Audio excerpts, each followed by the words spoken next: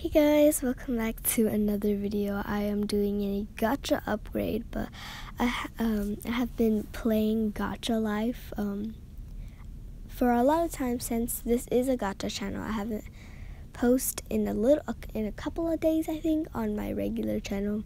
Like probably like I haven't posted in like a day there, like 2 days.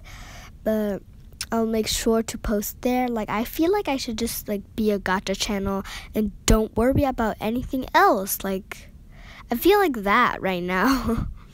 but don't worry, I will be posting vlogs and anything that I think will be great content. I'm so excited to find some cool ideas. Um, so I really had some hard times choosing some of the outfits because I didn't know what to wear. I'm more of that um, tomboyish girl, however you say it, tomboy girl.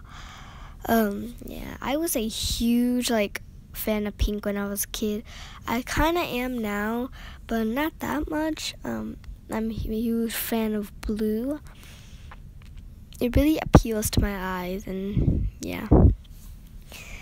And I hope you guys enjoy the rest of this video.